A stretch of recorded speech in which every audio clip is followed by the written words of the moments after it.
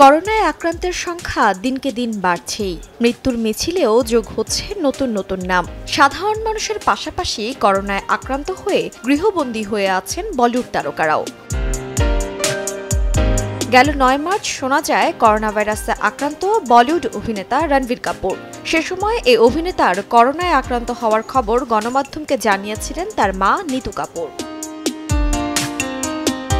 অভিনেতা রণবীর কাপুরের পরপরই করোনাতে আক্রান্ত হয়েছিলেন পরিচালক সঞ্জয় লীলা বানসালি সে সময় নিজের অফিসেই কোয়ারেন্টাইনে ছিলেন পরিচালক। ফলে আপাতত বন্ধ পরিচালকের আসন্ন সিনেমা গঙ্গুবাই কাঠিয়াওয়ারির শুটিং। গেল বাইশ মার্চ কোভিড পজিটিভ হওয়ার বিষয়টি ভক্তদের সঙ্গে শেয়ার করেছিলেন অভিনেতা কার্তিক আরিয়ান। ধীরে ধীরে তিনি সুস্থ হয়ে উঠলেও এখনও নিজেকে কোয়ারেন্টিনে রেখেছেন এই অভিনেতা।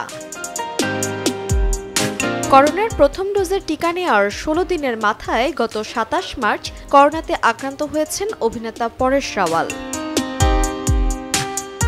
গত চব্বিশ মার্চ অভিনেতা আমির খানের মুখপাত্র জানান যে আমির খানের করোনা রিপোর্ট পজিটিভ এসেছে। তিনি বর্তমানে হোম কোয়ারেন্টিনে আছেন। সব ধরনের নিয়ম মেনে চলছেন এবং তিনি ভালো আছেন।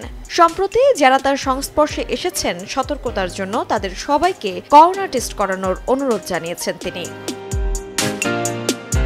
সম্প্রতি ভারতের খ্যাতিমান গায়ক ও সংগীত পরিচালক বাপ্পি লাহিরি করোনায় আক্রান্ত হয়েছেন। তার মুখপাত্র জানিয়েছেন, মুম্বাইয়ের ব্রিজ ক্যান্ডি হাসপাতালে ভর্তি করা হয়েছে তাকে। উপসর্গ থাকলেও তার শারীরিক অবস্থা স্থিতিশীল রয়েছে।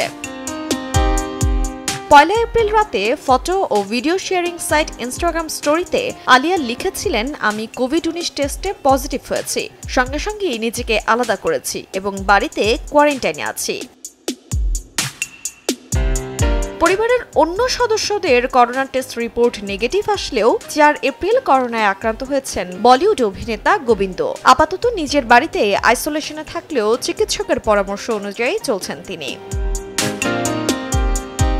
বলিউডের প্রথম সারির অভিনেতাদের মধ্যে সর্বশেষ করোনায় আক্রান্ত হওয়ার খবর জানিয়েছেন অক্ষয় কুমার। চার এপ্রিল সকালে টুইটারে অক্ষয় কুমার লিখেছেন, সবাইকে জানাতে চাই যে আজ সকালে আমার করোনা রিপোর্ট পজিটিভ এসেছে।